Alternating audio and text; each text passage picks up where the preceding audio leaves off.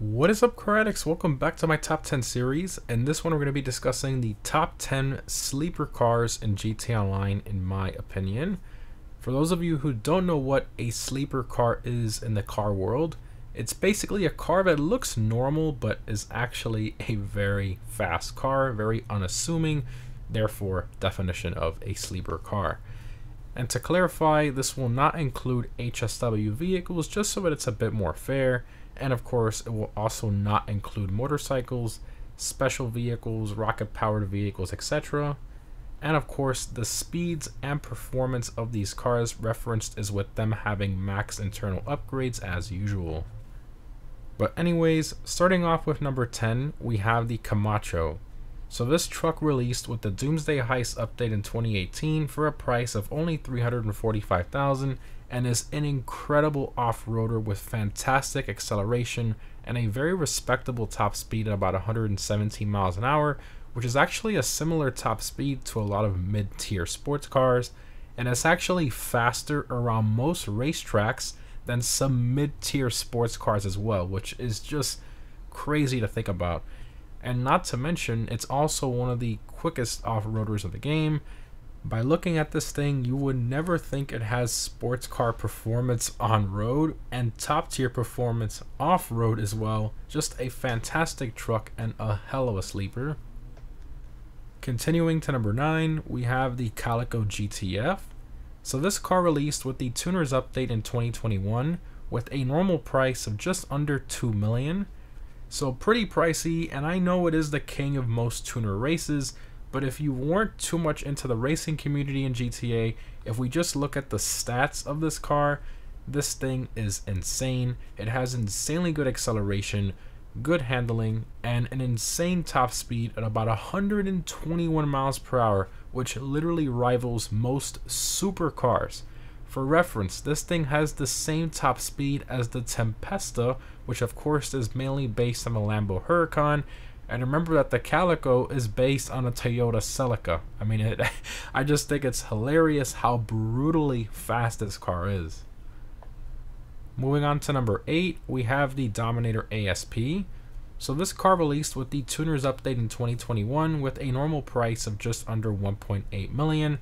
This thing is still in top 5 in the muscle car class around most tracks, which you would never expect from an older Mustang.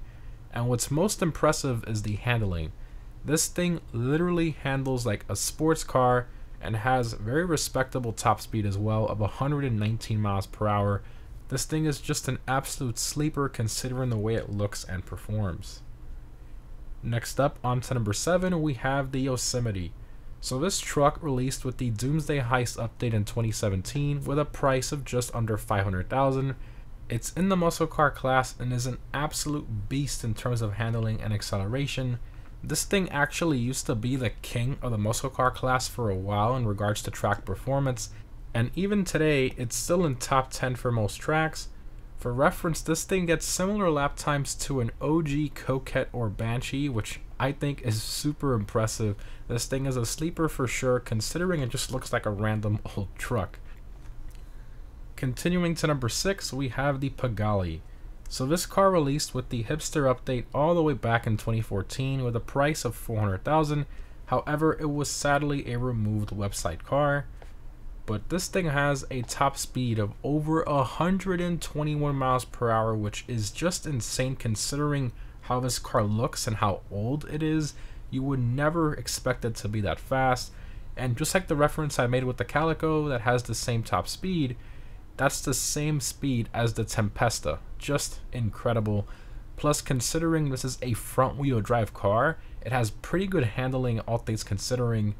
Just Pigalle is just ultimate sleeper in the sports classics class for sure. Moving on to number 5, we have the BF Club. This little car released with the 2020 summer update with a normal price of just under 1.3 million. This thing is based on a little VW Golf, and you would never expect this thing to be as quick as it is. It's pretty much a sports car in the compacts class. It handles like it's glued to the ground with great acceleration and decent top speed, especially for the compacts class. It has no business handling and accelerating as fast as it does, and I absolutely love it because of that. Highly recommend this one. Next up, on to number four, we have the Pisswasser Dominator. So this car was made available for purchase in 2016 with the Cunning Stunts update and is currently free for all players. So this thing is literally just a street Dominator with a livery thrown on it. However, the internal performance mods are significantly boosted compared to a normal one. It's not a little bit of a boost, it's a big boost giving this thing a top speed of over 126 miles per hour, which is just insane for a muscle car. For reference, this thing literally has the same top speed as the Nero in game, which of course is based on the Bugatti Chiron, and not to mention this car can beat most of the supercars in a straight line given a long enough road. Absolute beast and one heck of a sleeper for sure. Continuing to number three, we have the Albany VSTR. So this car was added with a casino update drip feed in 2020 with a price of just under 1.3 million. And just like the Pisswasser Dominator, this car has a top speed of over 126 miles per hour, which again is pretty much the same top speed as the Nero. Now this car is based on a performance Cadillac, the CTS-V, but even in real life, it's a sleeper. If you don't really know what you're looking at or what it is, most people just think it's a random Cadillac sedan, and they don't expect it to be as fast as it is. And in GTA, the fact that it can keep up with and even beat most of the supercars on a straight line is just very impressive. Definitely not Grandpa's Cadillac. Moving on to number two, we have the Schafter V12. This car was added with the Executives and Other Criminals update in 2015 with a price of only 116,000. This car pretty much looks the same as the regular Schafter but with some styling elements from the sportier Schwarzer in game. And with its cheap price, you would never think it's anything special. And oh boy, is this car impressive. It has an insanely good exhaust note and a top speed of over 124 miles per hour, which is just insane literally supercar top speed for only a hundred thousand dollars and the look of an OG street car. This is the ultimate sleeper in GT Online in my opinion, but not quite number one. So, what is the number one sleeper car in GT Online in my opinion? That is the Weevil Custom, which was just recently added with the Criminal Enterprises update last year with a base price of about 1.8 million when factoring in the Benny's upgrade. And no, it's not some overpriced hot rod slash rat rod with just customization and styling as its main strengths, as with most Benny's cars.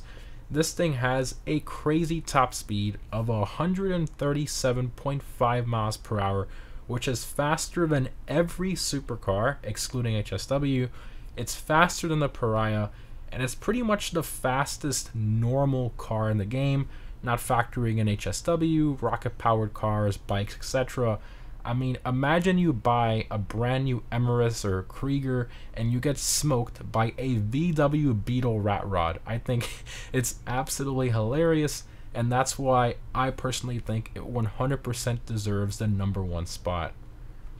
But anyways, guys, there you have it. The top 10 sleeper cars in GT Online, in my personal opinion definitely let me know down below in the comments what cars you guys think are also good sleeper cars in GT Online and also what other top 10 videos you guys would like to see me do next.